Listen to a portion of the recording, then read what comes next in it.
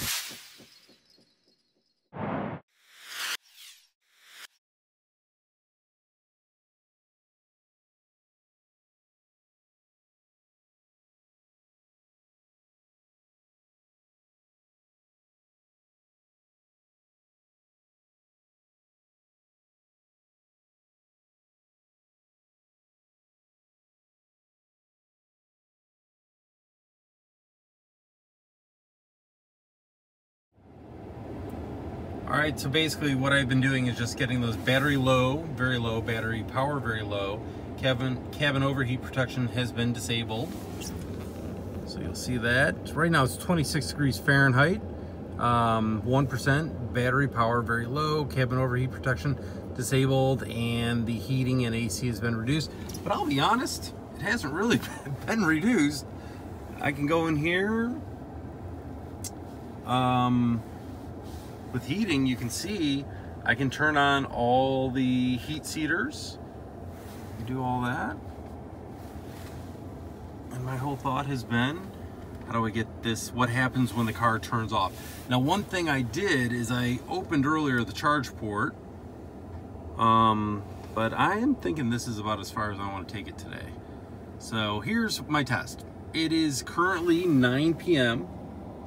I'm gonna find out how much with a 50 amp wall connector that I have installed on the wall.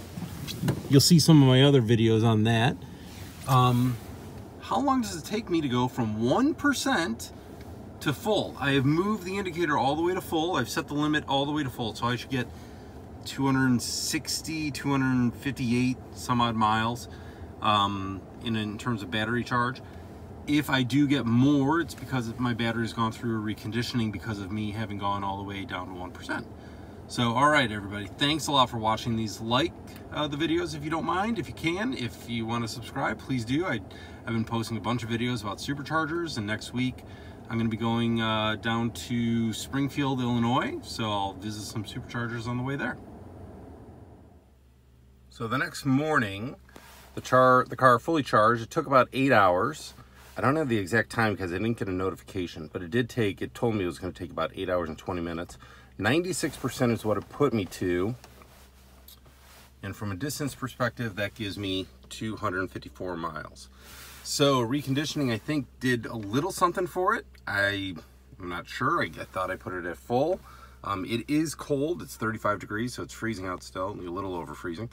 Um, but I think that worked. So anyway, going down 1% was a fun, fun little experiment. I'm not sure if I want to go further, but I, I will try that someday. You know, this is the next morning, and I, I had a couple more thoughts about what I did last night. So getting the car down to 1%, I'm telling you, that was 1%, and I think I had about four miles. And it causes a lot of anxiety. You, you start thinking like, well, I'm just going around the block. I'm, I'm really not going far. But what if the car did break down down the block? You know, it's not like I have a, you know, can I go up to my neighbor just plug in, right? No. So, so the whole notion of when you get below 10%, you do get all these notifications. I posted, you see them earlier in this video. I did notice some other things, right? It, it, gives you the warning that the, the heating and AC, I guess, gets restrained. I wasn't using AC, it's, it's winter here, so, but I was using heat. I didn't notice that the heat was being constrained at all. Um, I can definitely tell you the power in terms of driving was.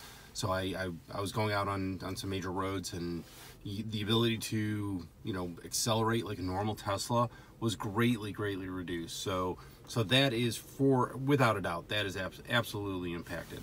Um, other than that, I think, you know, besides the notifications, it gives you more than enough notifications letting you know that your battery's getting low. Um, so that's a good thing but yeah, the the acceleration or just ability to uh, have some torque was was definitely missing. So that was the big one.